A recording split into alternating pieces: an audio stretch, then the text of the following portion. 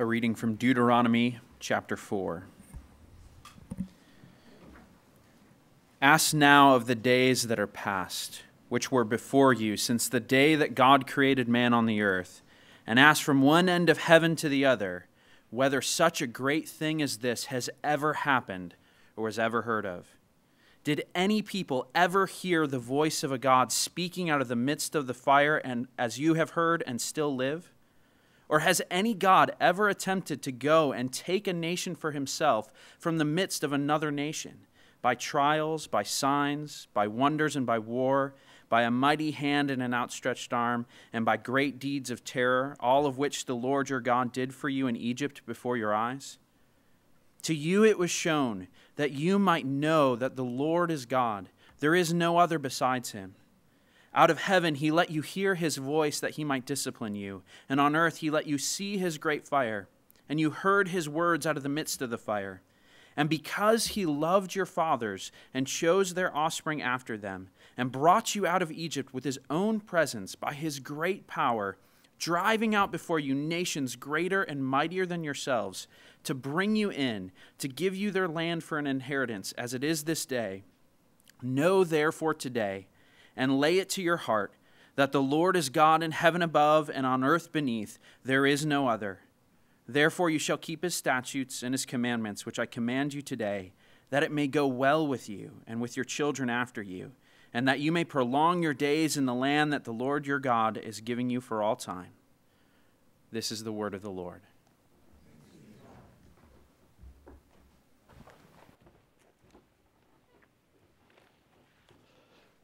It's a delight to be here to share with you the gospel according to Moses.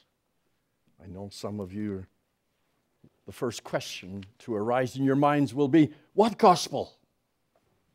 For some, the only. A reading from Deuteronomy chapter 4. Ask now of the days that are past, which were before you, since the day that God created man on the earth and ask from one end of heaven to the other whether such a great thing as this has ever happened or was ever heard of. Did any people ever hear the voice of a God speaking out of the midst of the fire, and as you have heard and still live? Or has any God ever attempted to go and take a nation for himself from the midst of another nation, by trials, by signs, by wonders, and by war?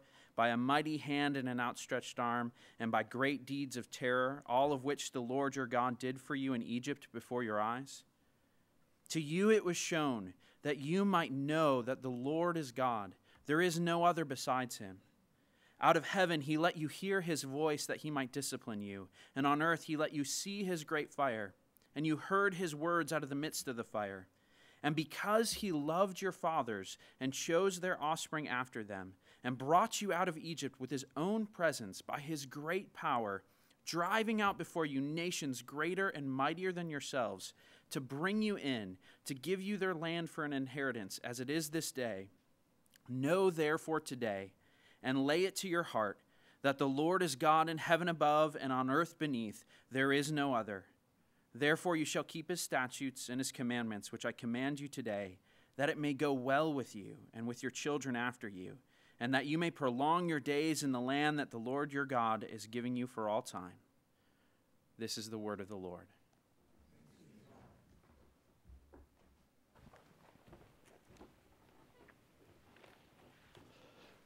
It's a delight to be here to share with you the gospel according to Moses. I know some of you, the first question to arise in your minds will be what gospel? For some, the only disease worse than Leviticus is Deuteronomy.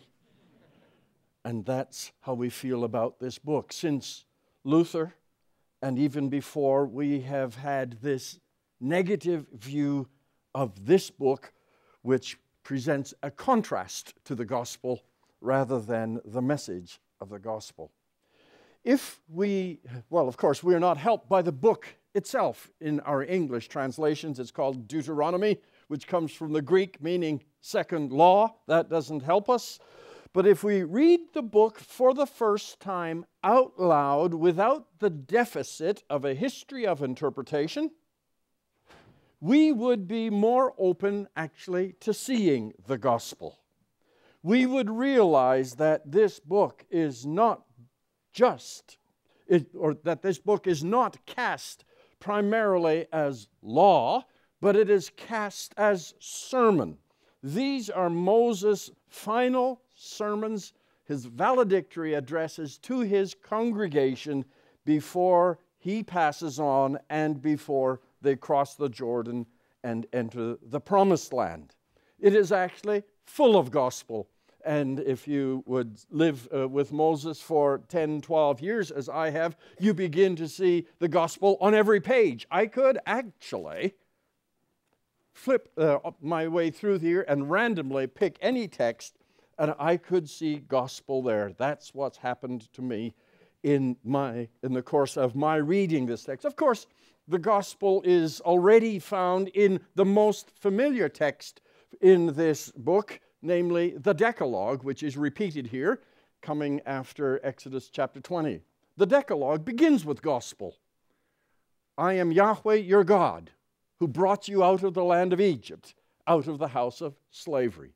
If that isn't gospel, I don't know what is. And in this book, gospel always precedes law. And we need to see it that way here. Actually, there are lots of texts that I debated talking about this morning. Uh, for instance, we could go to chapter 6, the end of this, which, which is what some people call the domestic catechism or a household catechism. When your son asks you in time to come, saying, What do the stipulations and statutes and judgments mean that the Lord has commanded you? Then you shall say to your son, We were slaves to Pharaoh in Egypt, and the Lord brought us up from Egypt with a mighty hand. Oh, but I wasn't asking about that. I was asking about the law. What is the meaning of the law? Shh, I'll get there. Just hold on. We were slaves to Pharaoh. He brought us out of Egypt. Moreover, the Lord showed great and distressing signs and wonders before our eyes against Egypt, Pharaoh, and all his land. Come on, Dad. Come on, Dad. I want to know about the law. I'll get there. And he brought us out from there in order to bring us in to give us the land that he swore to our fathers. So the Lord commanded us to observe all these statutes. Oh, finally, you're there. All these statutes to fear the Lord our our God for our good always and for our survival as it is today. And it will be righteousness for us if we are careful to observe this whole command before the Lord our God, just as He commanded us. Here, Moses instructs parents as you respond to the questions of your children over the supper table why do we live in this world? He instructs them on how to respond. If they ask about the laws, don't talk about the laws first because they come after. It reminds me of an episode in our own home when, when our son was in high school. He was a swimmer, and all his best buddies were swimmers. And of course, when you work so closely with other uh, folks, there are often conflicts that happen in values. And I'll never forget one uh, evening at the supper table uh, in the midst of a warm conversation. He just blurted out, Why do we have to live in such a prehistoric family? Now, we could have said, Oh, because this is the way we have to do it. This is what the church says. This is what my parents taught me. But no, it gave a wonderful opportunity for the why and it's not about the prehistoricness of the business, the antiquity of, the regulations by which we live, but it's about how we got here. It is our response to gospel. That's a fabulous text. Or we could go to the end of the book, chapter 26, which is what von Rad calls the little credo, das kleine credo. This is actually another fabulous text, and it's well worth our reading uh, the whole thing. After all, as you know, the scriptures weren't written to be preached, they were written to be heard. So, hear the word of the Lord. It shall be when you enter the land which the Lord your God gives you as your grant, and you possess it and live in it, you shall take some of the first of all the produce of the ground, which you shall bring in from the land that the Lord your God gives you. You shall put it in a basket, go to the place where the Lord your God chooses to establish his name. You shall go to the priest who is in office at the time and say to him, I declare this day to the Lord my God that I have entered the land which the Lord swore to our fathers to give us. Then the priest shall take the basket from your hand and set it down before the altar of the Lord your God, and you shall answer and say before the Lord your God, and here it is my father was a wandering Aramean. He went down to Egypt, sojourned there, a few in number, but there he became a great, mighty, and populous nation. And the Egyptians treated us harshly and afflicted us and imposed hard labor on us. Then we cried out to the Lord, the God of our fathers, and the Lord heard our voice and saw our affliction and our toil and our oppression. And the Lord brought us out of Egypt with a mighty hand and an outstretched arm and great terror and with signs and wonders. And he brought brought us to this place and has given us this land, a land flowing with milk and honey. And now look, I have brought the first of the produce of the ground, which you, O Lord, have given me. And you shall set it down before the Lord your God and worship before him. You and the Levite and the alien who is among you shall celebrate in all the good which the Lord your God has given you in all your household. That's an interesting episode here the, the person brings the first fruit of his harvest and to the Lord. And uh, if this were an ordinary fertility religion, it would be simply all about the first fruits. And so we give thanks for the first fruits. But of course, the person isn't interested only in the first fruits. It's not just about health, wealth, and good times.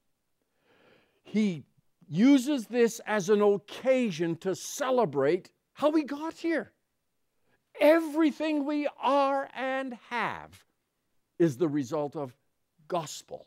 God, in His mercy and in His grace, has delivered us from the Egyptians, has brought us to this place, and now this fruit that I am bringing to the Lord is concrete evidence of the Lord's goodness and mercy in our lives. That's another fabulous text that we could go to. But I would like to go back to chapter 4, which was read so well for us by Clayton.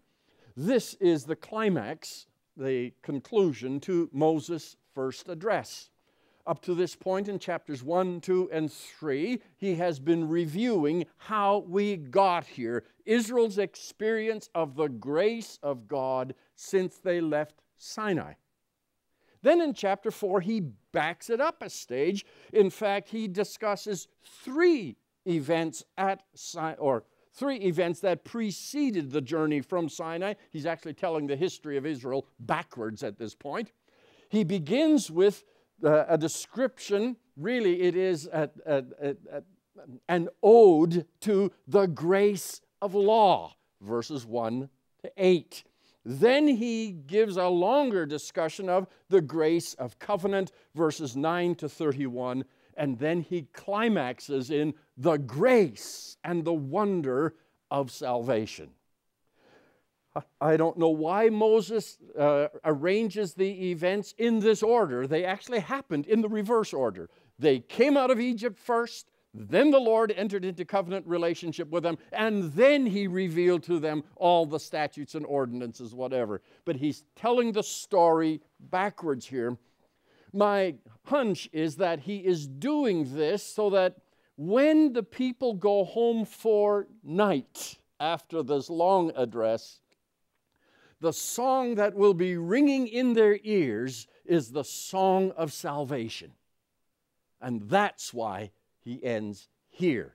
So let's look at this. Actually, this text is organized very, very uh, deliberately. It's dominated by a refrain that shows up twice, verses 35 and 39.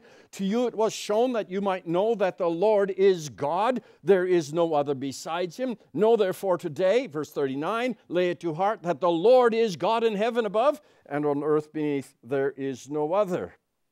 But beyond that, the text is dominated by three questions. Verse 32 ask, well, actually, three imperatives. Ask, verse 32, verse 35 and 39, know, and then verse 40, keep. These three questions reflect three lessons that Moses would want his audience to remember. The first is a history lesson, the second is a theology lesson, and the third is the practical lesson, the so what. Ask now. Let's look briefly at this history lesson. And it's appropriate that here in this academic uh, context, we comment on verse 32 because uh, notice how he frames it. Ask now concerning the former days which were before you, since the day that God created man on the earth, inquire from one end of the heavens to the other. Has anything like this ever been told before?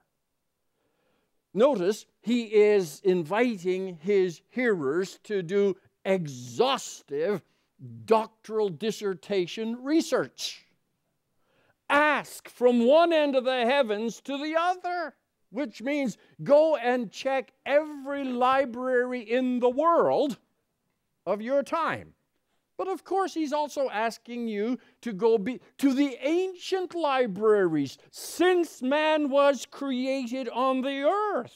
Go check Ashurbanipal's library or the ancient library of Alexandria or any other libraries. See if anything like this has ever happened. Anything like what? Well, then he sets the agenda. Four questions. One, has any great event like this happened before? He doesn't talk about what that event is yet, what he might have in mind, but this great event, is there any precedent? Two, has anybody ever heard about this, anything like this? Now, the first question I think has to do with history. In the history of humankind, is there any comparable event to what he is about to describe? Read all the history books, see if you can find something.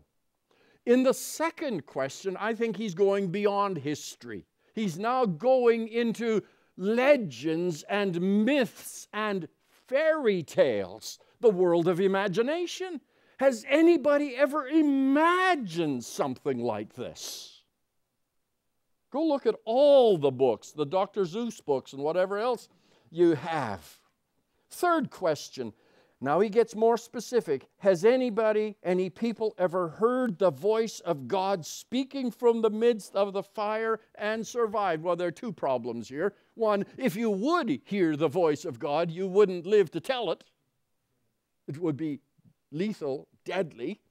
But the other side of it is, have they survived? The question really uh, is about survival of such an encounter with God. And then the fourth question has any God ever dared to do what Israel's God has done?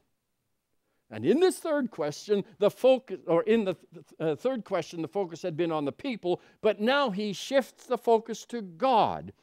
Is God, is there any God like this who has done for a people what Israel's God has done for them? And of course, the answer to all of these questions is negative. No great event like this has ever happened. No one has ever imagined a story like this. No people has ever heard the voice of God speaking from the midst of the fire and lived. And no God has ever dared to invade another God's territory, snatch a little people for himself, and take them as his covenant people. Doesn't happen. They leave well enough alone. And and, but that's what Israel has done. This is precisely. He personally invaded the land of Egypt, the mightiest nation on earth, snatched Israel from its clutches, and brought this people to himself. But why did he do it? Look at verse 37. Because he loved your fathers, therefore he chose their descendants after them, and he personally brought you out from Egypt. The love of God is the gospel here. God's unbelievable covenant commitment to the ancestors, which is what drives him to rescue their, uh, their descendants. So, this is the history lesson. Has any gospel ever like this, like this ever been imagined? And the answer is never in the history. The history lesson. So what?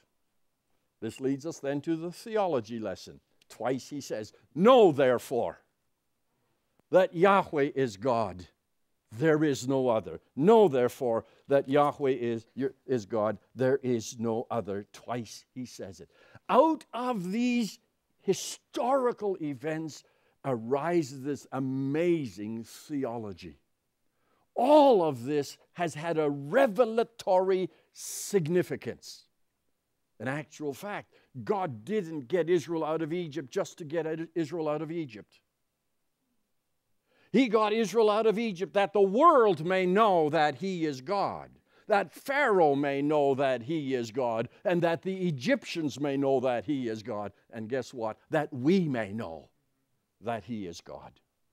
That's the theology lesson that derives from the history. And it ends then with a practical lesson. Now that you know the story, now that you know that this God, creator of heaven and earth, the only God who is, has personally rescued you, in the words of Francis Schaeffer, how then should we live? And the answer is so keep his statutes, his commandments, which I am giving you, that it may go well with you and your children after you, and that you may live long in the land which the Lord your God is giving you for all time. Even in the instructions and the commands and the ordinances, there is gospel. There's gospel at every level here gospel in redemption, gospel in revelation, and gospel in the knowledge of the will of God. And it's not just that God is an ogre wanting his people to live this way because he said so, but it is in their best interest and in the interests of the spreading of the gospel to all nations. This is a fabulous gospel that we find in the book of Deuteronomy. But by now, some of you are no doubt bored out of your minds by these ancient history and theoretical theology lessons. If that's the case, we and not Israel are the ones to be pitied. Few texts in all of Scripture are more profound and more exhilarating than these verses.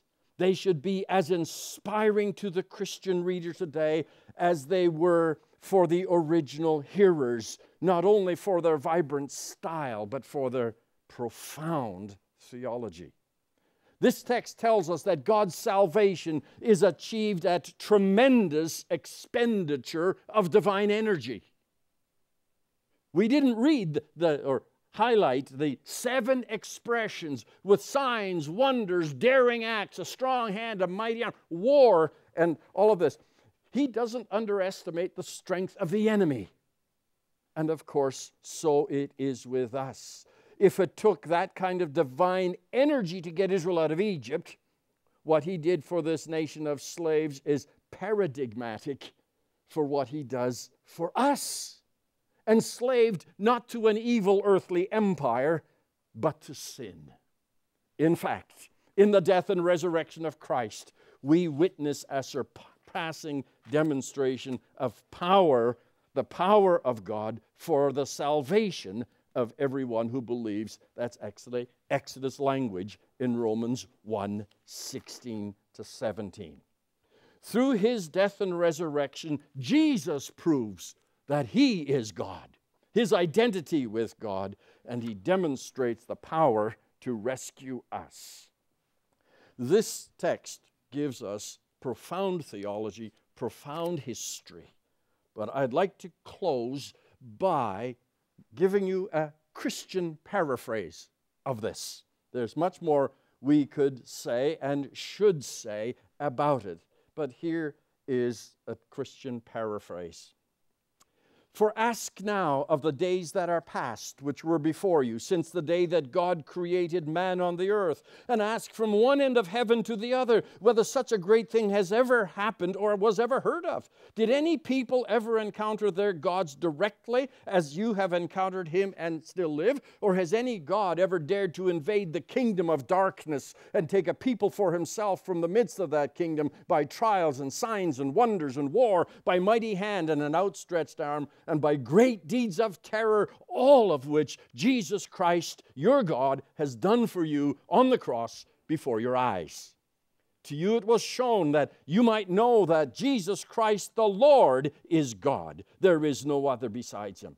Out of the heaven he came as the divine word that he might reveal the Father to you. And on earth he revealed his glory.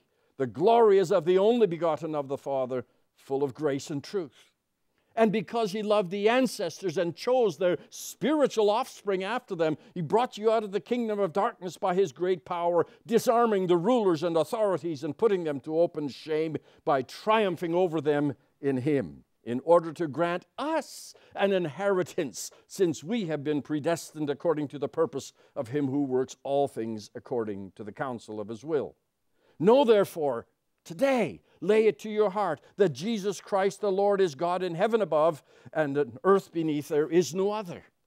And therefore, walk in a manner worthy of Jesus Christ the Lord, fully pleasing to Him bearing fruit in every good work, increasing in the knowledge of God, being strengthened with all power according to his glorious might, for all endurance and patience with joy, and giving thanks to the Father who has qualified you to share in the inheritance of the saints of light.